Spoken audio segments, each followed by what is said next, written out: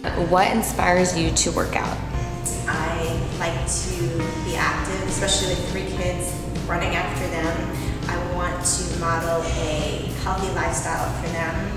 Um, nothing to the extreme, there's no nothing good with an extreme, but um, good eating habits and just feeling fit. You know, I feel, you know, I'm getting older.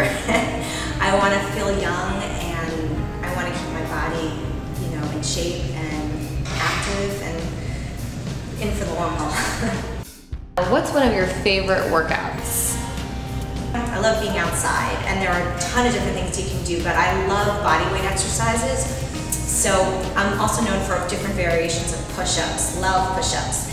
So a lot of times um, I like to do walking planks into different kinds of push-ups where we literally walk the beach, like almost uh, like an inchworm you really feel it. It's not just doing a basic push-up, you kind of feel winded after, so it's a little bit of cardio as well, and you really feel it all in your back, shoulders, arms, it's just, I think that's fun. Um, I also teach a lot of spin, love music, obviously I was a dancer, so I like choreographing um, different drills to different types of music.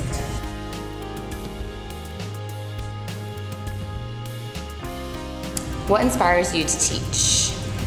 Well, I started out as a school teacher back in New York, teaching second graders. So I've always been a teacher and also into fitness since I've been about 20 and was dancing since I was three.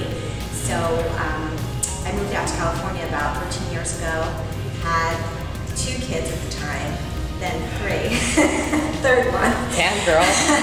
I wasn't teaching anymore um, school age um, at the time, I was always working out. I've always been into fitness and always into the new fitness trend at the time.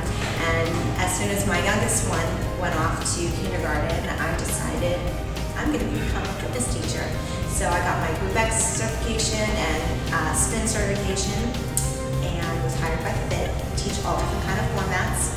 And I obviously love teaching. Now I just teach grown-ups, men, women, all different ages, and it's really nice to teach all different demographics and being a mom of three kids, it's also inspiring to other moms, I feel that way, you know, even the young, younger um, members downtown, I teach a lot at the downtown location, and they love that I have kids, and then you just, I seem to inspire them, which is a really nice feeling, because I, I feel young being with you know, being with them. And so their energy inspires me to inspire them back. So just motivating kind of back and forth.